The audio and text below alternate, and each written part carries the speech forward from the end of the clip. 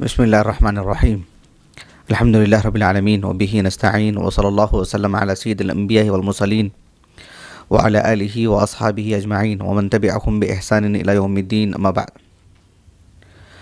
سلسلة تفسير كي یہ ستاویس میں نشست ہے اور آج کی نشست میں جو باتیں ہم آپ کے سامنے رکھنے جا رہے ہیں وہ یہ کہ سورة العلق کی ابتدائی جو پانچ آیتیں تھیں جو رسول اللہ صلی اللہ علیہ وسلم پر نازل ہوئیں آغاز نبوت کے طور پر اور اللہ تعالیٰ نے آپ کو نبی بنایا۔ لیکن یہ پانچ آیتیں نازل ہونے کے بعد، اس کے بعد والی جو چھٹویں آیت ہے، کلّا ان الانسان لیطغا الرآہ استغنا، وہ ایک تو اللہ کے رسول علیہ الصلاۃ والسلام پر ان پانچ آیتوں کے ساتھ الفور نازل نہیں ہوئی ہیں۔ ایک متفقہ بات ہے۔ ساتھ میں یہ بھی بات ہے کہ ان پانچ آیتوں کے بعد ایک مدت ہی صحیح، اس مدت کے بعد یہ چھٹویں آیت نازل ہوئی، ایسا بھی نہیں ہے۔ صورت العلق کی ابتدائی پانچ آیتیں نازل ہونے کے بعد ایک مدت تھی، ایک وقفہ تھا، ایک فترہ تھا فطرت الوحی جس کو بولتے ہیں۔ اس مدت کے بعد کچھ اور آیتیں نازل ہوئیں جس کا ہم ذکر آگے کریں گے انشاءاللہ۔ پھر اس کے بعد کچھ اور آیتیں نازل ہوئیں۔ ایک وقت آیا کہ صورت العلق کی چھٹویں آیت سے اس کے بعد کی آیتیں بھی نازل ہوئیں۔ تو ہم آپ کو یہ بتلانا چاہتے ہیں کہ قبل اس کے کہ ہم صورت العلق کی پانچویں آیت ختم ہونے کے بعد ہم چھٹویں آیت پڑھیں، اس سے پہلے ہم یہ جانیں کہ چھٹویں آیت نازل ہونے سے پہلے تک کا جو وقفہ ہے، جو مدت رہی ہے، اس دوران کیا ہوا ہے؟ اور اس کے لیے کچھ مقدمات بھی آپ کے سامنے رکھوں گا انشاءاللہ، تاکہ بات سمجھنے میں آسانی ہو۔ بہت ساری باتیں ہم آپ کے سامنے رکھیں گے انشاءاللہ۔ پھر اس کے بعد چھٹویں آیت ہم آپ کے سامنے رکھیں گے بِإِذْنِ اللہ تعالی۔ سب سے پہلی بات جو سمجھنے کی ہے وہ یہ کہ اللہ کے رسول علیہ الصلاۃ والسلام کے جو صحابہ ہیں، وہ قرآن مجید کے نزول سے متعلق، نزول سے متعلق کس قدر باخبر تھی دیکھیے۔ اور کتنی دقت تھی ان کے پاس، کتنی باریکی تھی۔ وہ اللہ سبحانہ و تعالیٰ کے کلام پر کتنی گہری نظر رکھتے تھے اللہ کی توفیق سے۔ اللہ کے رسول علیہ الصلاۃ والسلام نے ان کی کیسی تربیت کی کہ کس قدر وہ سنجیدہ تھے۔ ہم بحیثیت ایک طالب علم کی آپ کے سامنے یہ باتیں رکھ رہے ہیں۔ آپ بھی بحیثیت طالب علم کے ان باتوں کو لیجیے اور اسی انداز میں اللہ کے کلام کو سمجھنے کی کوشش کیجیے اللہ کے رسول علیہ الصلاۃ والسلام کے جو صحابہ ہیں انہی قرآن مجید کی نزول سے متعلق اتنی گہری نظر، اتنی خبر تھی ان کو، الحمدللہ۔ میں وقت کی قلت کی وجہ سے، چونکہ یہ مختصر سا وقفہ ہوتا ہے، مختصر سی بیٹھک ہوتی ہے، تو تین مثالیں میں آپ کے سامنے رکھوں گا، لیکن یقین مانیے کہ تین ہی مثالیں نہیں ہیں۔ ایسی کتابوں میں اور بھی مثالیں ہیں مستند ذرائع سے۔ تین مثالیں میں آپ کے سامنے رکھتا ہوں۔ اب دیکھیں امیر المؤمنین عمر بن الخطاب رضی اللہ عنہ۔ ان سے ایک یہودی نے سوال کیا تھا، جس کے تعلق سے طارق ابن شہاب ایک صحابی ہیں رضی اللہ عنہ ورضا وہ صغار صحابہ میں سے ہیں۔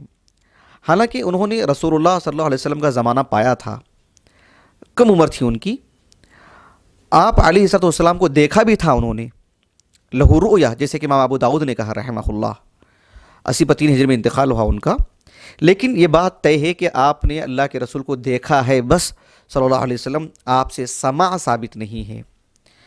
طارق بن شہاب رضی اللہ عنہ دین سے متعلق جتنی بھی باتیں وہ کہتے ہیں وہ کسی صحابی سے سن کر ہی کہتے ہیں۔ براہ راست انہوں نے رسول اللہ سے سنا ہوا ایسا نہیں ہے صلی اللہ علیہ وسلم۔ طارق بن شہاب رضی اللہ عنہ کہتے ہیں کہ ایک یہودی شخص عمر بن خطاب رضی اللہ عنہ کے پاس آیا اور آ کر کے کہا کہ ایک آیت ہے قرآن مجید میں۔ وہ قرآن مجید کی آیت ہے، اگر وہ ہم پر نازل ہوئی ہوتی۔ لو ان علینا نزلت هذه الآیہ۔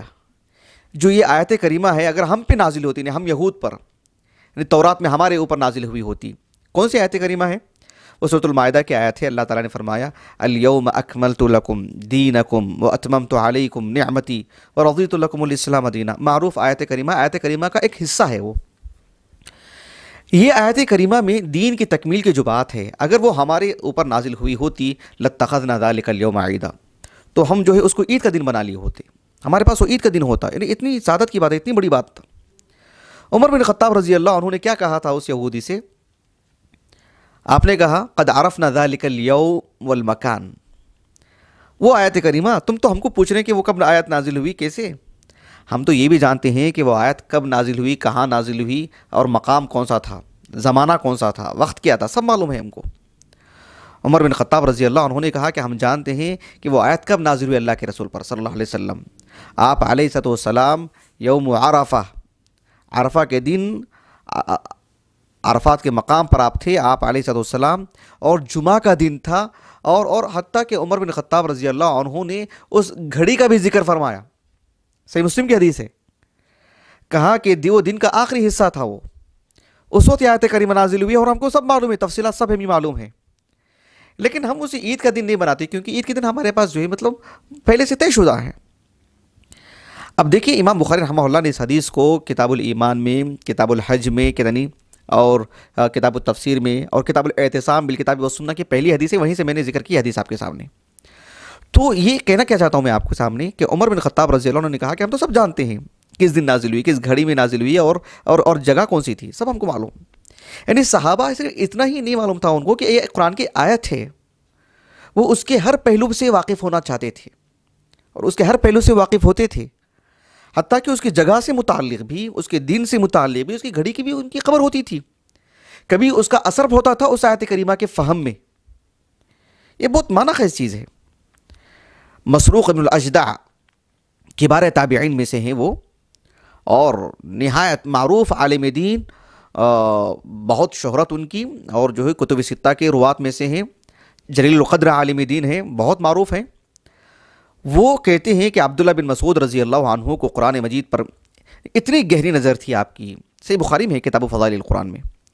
عبداللہ بن مسعود رضی اللہ عنہ کہتے ہیں کہ قرآن مجید کی کوئی بے آپ نے اسلوب کیا اختیار کیا؟ کہا کہ والذی لا الہ غیرہ یعنی اللہ کی قسم، جس کے علاوہ کوئی معبود نہیں یعنی اللہ کی قسم ہے، کہ قرآن مجید کی جو بھی صورت ہے، ما من صورت فی کتاب اللہ، قرآن مجید کی کوئی بھی صورت لے لیجیے اللہ و انا اعلم این انزلت۔ میں میں میں جانتا ہوں کہ وہ سورہ کہاں کہاں نازل ہوئی۔ میں اچھی طرح واقف ہوں۔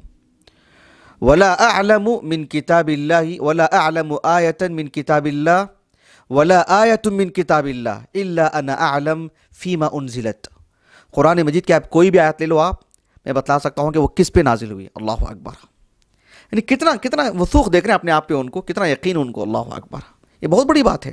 یعنی آپ نے اتنا وقت لگایا۔ اللہ نے توفیق دی آپ کو۔ اللہ سے فہم مانگا آپ نے، اللہ نے فہم دیا آپ کو۔ میں اور آپ مانگیں گے اللہ سے اور مجھے اور آپ کو اللہ نے فہم دے دیا تو مجھے آپ کو بھی یہ چیز سمجھ میں آنے لگے گی دھیرے دھیرے انشاءاللہ۔ تو عبداللہ بن مسعود رضی اللہ عنہ نے اتنی بڑی بات کی، بلکہ اتنا ہی نہیں۔ عبداللہ بن مسعود رضی اللہ عنہ کا جو انتقال ہوا ہے وہ بتیس ہجری میں۔ جبکہ عشر مبشرہ میں سے عثمان بن عفان، علی بن ابی طالب، زبیر بن عوام اور سعید ابن زید، سعد بن ابی وقاص عبد الرحمن بن عوف، سب حیات تھے۔ اور بھی بڑے بڑے صحابہ تھے، ان سب کی موجودگی میں آپ نے کتنی بڑی بات کی؟ عبداللہ بن مسعود رضی اللہ عنہ نے کہا، لو اعلم احدن لو اعلم احدن یعنی اگر میں کسی ایسے انسان کو جان لوں جو اعلم منی بھی کتاب اللہ، جو اللہ کی کتاب سے متعلق جتنی مجھے معلومات ہیں یعنی آپ کسی جنگل میں بیٹھ کے نہیں بول رہے ہیں، کسی قدیم میں بیٹھ کے نہیں بول رہے ہیں، آپ آپ مدینہ تو رسول میں رہ کے بول رہے ہیں، بھلے ہی آپ کوفہ چلے گئے تھے آپ۔ لیکن اتنے بڑے بڑے صحابہ موجود تھے آپ کی زندگی میں، ان کے ہوتے ہوئے یہ بتلا رہے ہیں آپ کہ مجھے اللہ تعالیٰ نے جو کتاب کا علم عطا کیا ہے، جو قرآن مجید پر میری جو گہری نظر ہے، اللہ کی توفیق سے، اللہ کے فضل سے۔ مجھے معلوم ہو کہ کوئی ایسا بھی شخص ہے کائنات میں جو مجھ سے بھی زیادہ اللہ کی کتاب کے بارے میں جانتا ہے۔ تب لو البل رقیب تو الئی اور وہاں تک سواری جا سکتی ہے یعنی اونٹ سفر کر کے وہاں تک جا سکتا ہے، تو میں وہاں تک چلا جاؤں گا اس کے پاس لینے کے لیے۔ لیکن ہے نہیں ایسا کوئی شخص۔ یہ معمولی بات ہے، کتنی بڑی بات ہے۔ اور کس کی موجودگی میں بول رہے ہیں آپ؟ یعنی ایک ایک ٹھاٹے ماردہ سمندر موجود ہے صحابہ کا، علماء صحابہ کا۔ ان کے ہوتے ہوئے آپ نے اتنی بڑی بات کی، یہ کوئی معمولی بات نہیں ہے۔ ظاہر بات ہے، آپ نے وہ وقت لگایا۔ آپ نے آپ نے ایک سوئی کا مظاہرہ کیا۔ تب اللہ رب العالمین نے آپ کو اس عادتوں سے مالا مال فرمایا۔ یہ صحابہ کا ایک عام سا انداز ہے، خاص کر علماء صحابہ کا، بڑی تعداد میں صحابہ کا۔ علی بن ابی طالب کو لیجیے آپ، رضی اللہ عنہ ورضا ایک تابعی ہیں، بلکہ صغار تابعین میں ان کا شمار ہوتا ہے۔ صغار تابعین میں ان کا شمار ہوتا ہے۔ ابن ابی دبئی کے نام سے معروف ہیں۔ تو یہ جو تابعی ہیں، معروف مطلب معروف اس معنی میں کہ جو ہے ایک کتاب ہے، امام نسائی رحمہ اللہ کی مسند علی، جو کتب ستہ میں نہیں ہے۔ لیکن کتب ستہ کے ساتھ ساتھ کتب ستہ کے مؤلفین کی جو ملحق کتابیں ہیں، ان میں ایک کتاب آتی ہے مسند علی۔ عین سین رمز ہوتا ہے اس کا۔ ان میں اکثر ان کے نام آتے ہیں۔ تو یہ جو راوی ہیں، وہب ان کا نام ہے، وہب ابن عبداللہ ابن ابی وہب ابن عبداللہ ابن ابی دبئی۔ دبئی جو علاقہ ہے نا شہر کا نام، ایک ملک کا نام بلکہ۔ تو بالکل وہی وہی کنیت تھی ان کے والد کی ان کے دادا کی۔ وہب ابن عبداللہ ابن ابی دبئی۔ ثقہ راوی ہیں۔ وہ ایک صحابی سے روایت کرتے ہیں ابو طفیل عامر ابن واصلہ سے۔ ابو طفیل عامر ابن واصلہ علی الاطلاق سب سے آخر میں وفات پانے والے صحابی ہیں، ایک سو دس ہجری کو۔ وہ کہتے ہیں کہ علی بن ابی طالب رضی اللہ عنہ جب اپنے دور خلافت میں وہ کوفہ آ گئے تھے، کوفہ آنے کے بعد انہوں نے اندازہ لگایا کہ بڑے بڑے صحابہ کا انتقال ہونے جا رہا ہے، بلکہ کافی صحابہ کا انتقال ہو چکا ہے۔ علم دینے والے لوگ کم ہو گئے ہیں۔ آپ نے اپنی مسئولیت کو سمجھا، جانا۔ اتنا احساس ہوا آپ کو کہ آپ نے لوگوں سے کہا کہ سلون یان کتاب اللہ۔ حافظ جلال الدین اسیوتی رحمہ اللہ کہتے ہیں کہ صحابہ میں سے کسی نے عمومی طور پر ایسا اسلوب اختیار نہیں کیا ہے کہ سلون یان کتاب اللہ۔ اللہ کی کتاب کے بارے میں جو بھی پوچھنا ہے تو مجھ سے پوچھ لو۔ ایسا اسلوب اختیار نہیں کیا تھا۔ اکا دکا صحابہ کے علاوہ۔ جب ضرورت سمجھے کہ کوئی کوئی بولنے والا نہیں ہے اور کوئی صحیح انداز میں بولنے والا نہیں ہے۔ علی بن ابی طالب رضی اللہ عنہ بڑے صحابہ میں ان کا شمار ہوتا ہے، علماء صحابہ میں سے شمار ہوتا ہے قضات میں سے شمار ہوتا ہے ان کا۔ معروف مفسرین میں سے ہے اور جو ہے مطلب خوب درک ان کو شریع علم میں۔ جب کوفہ میں تھے آپ اور کسی آیات کو لے کر کے مختلف معنی لیے جانے لگے، تو ایسے وقت میں آپ نے اس مسئولیت کو سمجھا۔ آپ نے کہا کہ سلون یعن کتاب اللہ اللہ کی کتاب کے بارے میں۔ جو مجھ سے پوچھنا چاہتے ہیں، پوچھ لیجیے اس لیے کہ فَإِنَّهُ لَيْسَ فِيهِ آيَةً إِلَّا وَقَدْ عَرَفْتَ۔ بِلَيْلٍ نَزَلَتْ أَمْ بِنَهَارٍ فِي سَهْلٍ أو فِي جَبَلٍ کتنی بڑی بات کی آپ نے؟ آپ نے کہا کہ اللہ کی کتاب کے بارے میں جو پوچھنا ہے مجھے پوچھ لو۔ اس لیے کہ کوئی بھی آیت لے لو قرآن کی، میں جانتا ہوں، یہاں تک جانتا ہوں میں کہ وہ دن میں آیت نازل ہوئی کہ رات میں آیت نازل ہوئی۔ وہ عام جگہوں پہ نازل ہوئی کہ وہ پہاڑ پہ نازل ہوئی۔ اس حد تک میں واقف ہوں اس سے۔ مطلب اتنی گہری معلومات میں رکھتا ہوں، مجھ سے پوچھو، صحیح معلومات دوں گا میں آپ کو۔ یہ روایت صحیح ہے صنعت کے اعتبار سے۔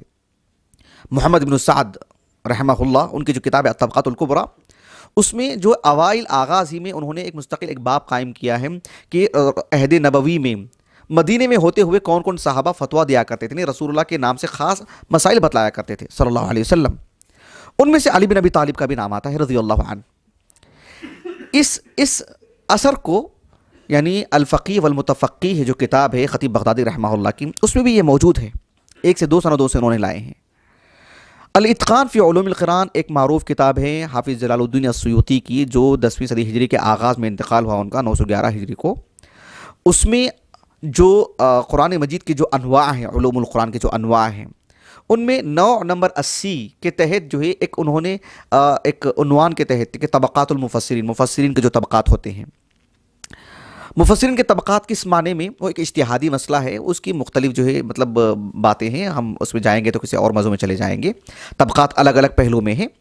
تو اس کتاب میں طبقات المفسرین کے تحت انہوں نے ایک بات یہ لکھی کہ صحابہ میں کون کون تفسیری تفسیری معلومات دیا کرتے تھے۔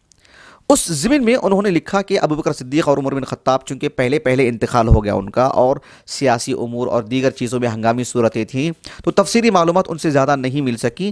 روایت کے طور پر، انہیں معلوم تھی، لیکن روایت کے طور پر ان سے نہیں مل سکیں۔ علی بن ابی طالب رضی اللہ عنہ سے کافی مقدار میں ملی ہیں خلفائے اربع میں سے۔ پھر اس اس اثر کو بھی وہ لے کر کے آئے ہیں۔ وہ کتاب کئی جگہوں سے چھپی ہیں، کئی جگہوں سے۔ وہ جو یعنی الدراسات، مرکز الدراسات القرآنیہ۔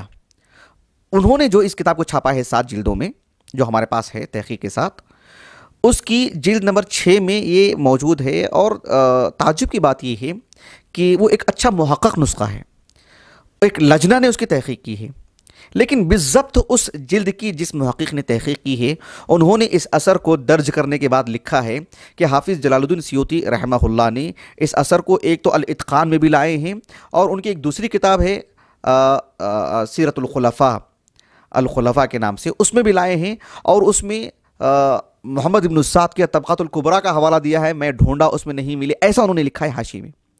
جبکہ ہمارے پاس طبقات القبرا جو موجود ہے اس کی جلد نمبر دو میں یہ واقعہ موجود ہے اور جو ہے آ، مکتبۃ الخانجی قاہرہ سے ہمارے پاس چھپی ہے چودہ سو چونتیس ہجری سے۔ اس میں یہ واقعہ درج ہے یعنی سند کے ساتھ ہے اور سند معتبر ہے صحیح ہے میں نے خود چک کی الحمدللہ۔ تو کہنے کا مطلب یہ ہے کہ عمر بن خطاب عبداللہ بن مسعود علی بن ابی طالب رضی اللہ عنہ اجمعین ان اکابر صحابہ رضی اللہ عنہ اجمعین صورتوں سے متعلق، آیاتوں سے متعلق، یہ جو بات بتلاتے تھے، ظاہر بات ہے وہ ایسی نہیں ہے کہ عجلت میں جلد بازی میں کچھ سیکھ لیا، نہیں، انہوں نے زندگی لگائی۔ اللہ کے رسول کے ہمراہ رہے، صلی اللہ علیہ وسلم، صبح و شام آپ سے واقف رہے۔ اس اعتبار سے آپ کو یہ سب چیزیں ملی ہیں۔ تو یہ چیزیں ہم آپ کے سامنے جو رکھ رہے ہیں، یہ یہ بتلانے کے لیے کہ اللہ سبحانہ و تعالیٰ کی کتاب کے ساتھ ہمارا جو معاملہ ہے، عمومی طور پر عاجلانہ معاملہ ہوتا ہے، جلد بازی کا معاملہ ہوتا ہے۔ ہم آج کے دور میں جو ہے واٹس اپ دیکھتے ہیں اور جو ہے، اور دیگر جو ہمارے مواصلات کے جو جو وسائل ہیں، ہم کتنے گھنٹے لگاتے ہیں، کتنے انہماک سے پڑھتے ہیں۔ کبھی اشعار آ جاتے ہیں، کتنے غور سے پڑھتے ہیں، کتنی دلچسپی سے پڑھتے ہیں، لیکن اللہ سبحانہ و تعالیٰ کی کتاب کی بات آتی ہے تو لوگ بولتے ہیں کہ جو ایک ایک ایک پارا ایک گھنٹے میں ہو جائے۔ ایک دن کے اندر ایک پارا ہو جائے۔ سبحان اللہ العظیم۔ ایسا نہیں ہو سکتا۔ یہ اللہ کی کتاب ہے۔ بہت ہی سنجیدگی سے ہمیں اس معاملے کو لینا چاہیے۔ دیکھیے یہ اللہ کی توفیق ہے۔ سب کا دل اللہ تعالیٰ مائل نہیں کرتا اس معنی میں۔ اللہ رب العالمین میرا اور آپ کا دل مائل کر دے، یہ سعادت مندی کی بات ہے۔ اچھا ایک بات میں آپ کو یہ بھی بتانا چاہتا ہوں۔ آخری میں، وہ یہ ہے کہ یہ جو باتیں ہم نے آپ کے سامنے رکھی ہیں، کہ جو عمر بن خطاب ہوں یا عبداللہ بن مسعود ہوں یا علی بن ابی طالب ہوں یا دیگر صحابہ بھی رضی اللہ عنہ اجمعین جو یہ کہا کرتے تھے کہ یہ آیت کریمہ دن میں نازل ہوئی یا رات میں نازل ہوئی، پہاڑ پر نازل ہوئی کہ جو یہاں نازل ہوئی کس شخص سے متعلق نازل ہوئی، کب نازل ہوئی، کس گھڑی میں نازل ہوئی، یہ جو سب باتیں جو ہیں، یہ سب باتیں منسوس ہونی چاہیے، اس کا تعلق اشتہاد سے نہیں ہے، کسی کے رائے سے نہیں ہے، بلکہ یہ بس اللہ کے رسول سے ثابت شدہ بات ہو، صلی اللہ علیہ وسلم۔ ایسا نہیں ہو سکتا کہ جب تک صحابی یہ بات نہیں کہتے کہ فلاں جگہ نازل ہوئی، فلاں کے حق میں نازل ہوئی اور اس واقعے کے بعد نازل ہوئی اور وہ صحیح صنعت سے ہو تبھی ہم یہ بات کہیں گے۔ یہ اپنی عقل کے موافق نہیں بات کہیں گے کہ یہ دن میں رات میں نازل ہوئی، کیسے ہم اپنی طرف سے نہیں کہیں گے۔ اشتہاد کے لیے اس میں کوئی مجال نہیں ہے۔ بہرحال یہ باتیں آپ کے سامنے ہم نے رکھی ہیں۔ آنے والی نشست میں انشاءاللہ کچھ اس طرح کی باتیں ہم آپ کے سامنے رکھیں گی کہ ان پانچ آیتوں کو لے کر کی کچھ تعارفی باتیں کہ اس پا، ان پانچ آیتوں کو رکھ کر کے یعنی صحابہ نے مطلب جو ابھی ہم نے آپ کے سامنے رکھے ہیں کہ اس قدر گہری نظر رکھا کرتے تھے، ان پانچ آیتوں سے متعلق اور دیگر آیتوں سے متعلق بھی جو باتیں ہیں، وہ میں آپ کے سامنے رکھوں گا انشاءاللہ۔ اللہ تعالیٰ سے دعا ہے کہ اللہ سبحانہ و تعالیٰ ہماری اس بیٹھک کو قبول فرمائے۔ اللہ رب العالمین ہم سے راضی ہو۔ ہمارے اساتذہ سے جنہوں نے ہمیں پڑھایا، سکھایا، اس قابل بنایا اور ہمارے والدین کو، جن کو اللہ رب العالمین نے ان کے دل میں یہ بات ڈالی کہ ہم اللہ سبحانہ و تعالیٰ کے کلام کو یاد کریں اور اللہ کی شریعت کو پڑھیں، سمجھیں، اس کے لیے وقف ہوں۔ ہمارے سارے معاونین اور ہمارے جامعہ کی شیخ الجامعہ ہو یا دیگر ہمارے پڑھنے والے اخوان ہوں، جن کا ہر ممکن تعاون ہے اور میری اپنی اہلیہ کا اللہ تعالیٰ جو ہے یعنی ان ان کو بھی اپنی رضامندی سے مالا مال فرمائیں اور اللہ تعالیٰ مجھے بھی اپنی رضامندی عطا فرمائے، ہمارے لیے اس بیٹھک کو ذخیرہ آخرت بنائیں سبحانک اللہم و بحمدک، اشہدو اللہ الہ الا انت، استغفرک و اتوب الیک۔